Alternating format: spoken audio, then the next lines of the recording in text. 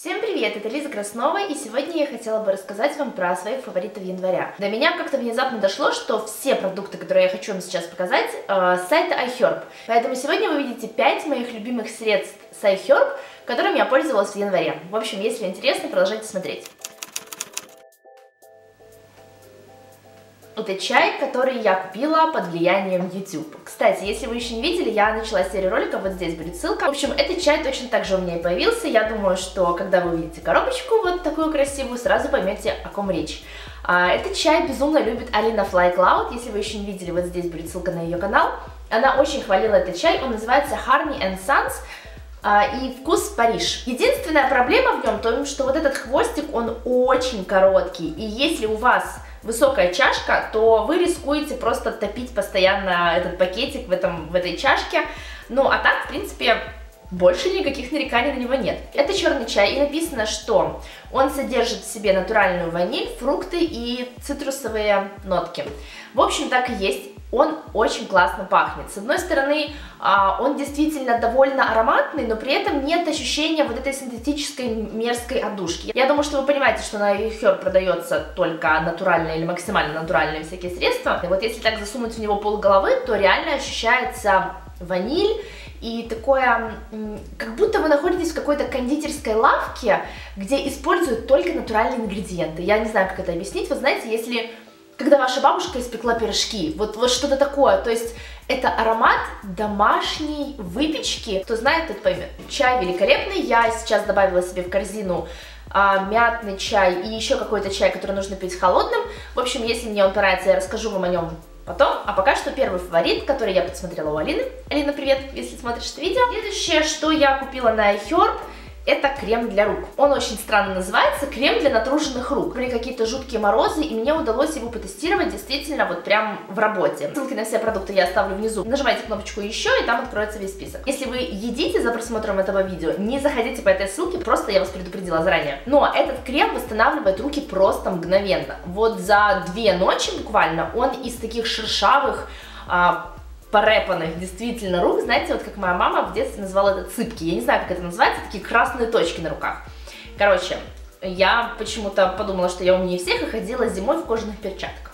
И у меня, в общем, повредились руки, я пользовалась этим кремом, и за две ночи он супер быстро все восстановил. Это какая-то магия. Сам по себе он вот такой белый, а, когда я его только купила, он был так красиво выложен, знаете, как кондитерская такая помадка. Он вообще ничем не пахнет. Вот я сколько пробовала пытаться разнюхать там хоть какой-нибудь запашок, он вообще не пахнет ничем. Он по консистенции похож на, на какое-то мокрое масло. Вот я не знаю, как объяснить.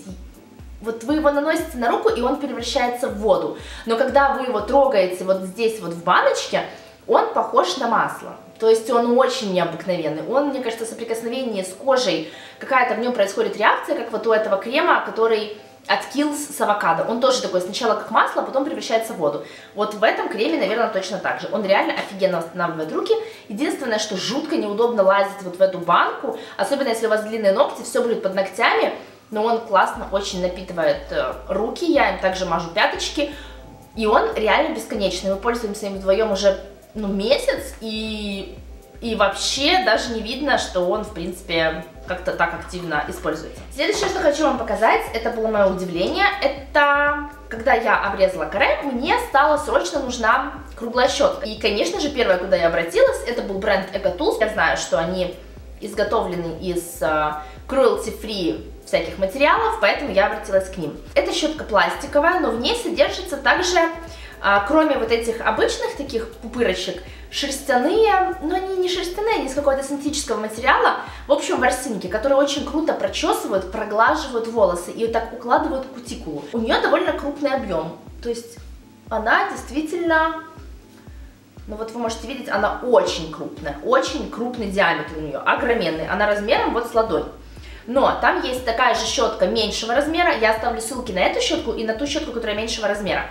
А, и многие люди писали, что эта щетка для них очень большая, им неудобно ей оперировать, но мне кажется, все удобно. Здесь, во-первых, хорошая ручка, за которую можно хорошо взяться, и щетка очень классно прокручивает вот именно волосы внизу. Конечно, если вам нужно делать прикорневой объем, Возможно, будет логичнее взять щетку меньшего диаметра, тут, по-моему, 3,5, а там 2,5, что-то такое. Но мне очень удобно, потому что при корневой объем я не создаю, у меня руки не из этого места, а чтобы волосы красиво подкрутить внизу и просушить, это, конечно, вот ради бога. Тут еще она с дырочками, поэтому через нее легко проходит воздух, волосы хорошо сушатся, не повреждаются. Меня очень много людей спрашивают, какими кистями я наношу тональный крем.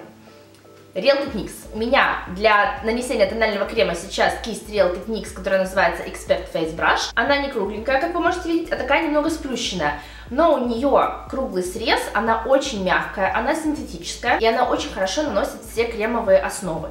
Ей также, в принципе, можно нанести хайлайтер, что я, в общем, делала. Она его так вот красиво очень заполировывает. Можно наносить пудру, Честно говоря, ей можно наносить все, что угодно, лишь бы вам было удобно. Она действительно клевая. Раньше у меня была Buffing Brush, она была полностью круглая, не такая сплющенная, как здесь, а именно полностью круглая. Она тоже очень крутая. А пудру и румяна я наношу вот такой кистью. Она, кстати, из набора где была та Buffing Brush. Эта кисть называется Multitask Brush. Очень пушистая, очень мягкая, хорошо наносит румяна, я ей также наношу пудру, очень-очень тонко ее кладет и очень равномерно. Можно даже изощриться наносить хайлайтер, а еще если ее вот так вот сжать, то можно наносить э, скульптор. Короче, кисти Real Techniques очень классные на свою стоимость, они феноменально работают. Вот этой кисточке уже, наверное, лет 5, я ее стирала, причем так безбожно совершенно, не в специальных средствах, а просто в мыле вот так вот крутила. Естественно, невозможно найти какой-то супер идеальный набор, где вам были бы нужны все-все-все кисти, но мне кажется, что брать кисти в наборе как-то дешевле, нежели брать их по отдельности. Но вот эти две кисточки могу вам советовать. И последнее, что я хотела бы вам показать, это вообще не косметический фаворит, это вообще не фаворит, который а, где-то можно купить. Я, ну блин, я просто не могу это вам не показать, потому что это случилось в январе, и я настолько а, поражена этим фактом. В общем, у меня дома пророс тюльпан. Вот этот малыш, видите? Я думаю, вы понимаете, что я люблю тюльпаны. Луковку этого тюльпана мы привезли из Амстердама. Вот здесь был влог, где я показывала, как мы их выбирали. Я, честно говоря, не помню, какие там тюльпаны вырастут, потому что мы купили тюльпаны, где собраны разные сорта. Я не представляю, какой именно этот, но этот пророс первым, и сейчас у меня на подоконнике еще три горшочка с проросшими цветочками. Я очень сильно надеюсь, что он вырастет до состояния настоящего цветка, потому что в прошлый раз, когда я высаживала тюльпан, он, к сожалению, загнулся где-то на половине пути. И я хочу вам показать его сейчас, чтобы все, кто хочет, чтобы у меня пророс тюльпан, держали за него кулачки, и чтобы в скором времени я показала вам уже настоящий, огроменный, целый тюльпан. Если вы не знали, то я цветочница бешеная, у меня все подоконники заставлены цветами. Держите за нас кулачки, пишите приятные комментарии, я поставлю его возле монитора, и все ваши приятные слова будут помогать ему расти. И, кстати, мы можем придумать ему вместе имя, будет у нас какой-то общий домашний питомец. Да, но у меня никогда не было домашнего животного, поэтому у меня очень много цветов. Это были все фавориты января, я надеюсь, что эти пять моих находок с iHerb помогут вам определиться с тем, что купить на iHerb. Если вы никогда не покупали на сайте iHerb, внизу будет ссылка со скидкой а, на ваш первый заказ. В общем, переходите внизу, будет вся информация, все напишу, что нужно, дам все ссылки, все названия. Если какие-то вопросы еще остались, задавайте их внизу. Подписывайтесь на мой канал. До новых встреч! Пока! Спасибо за просмотр!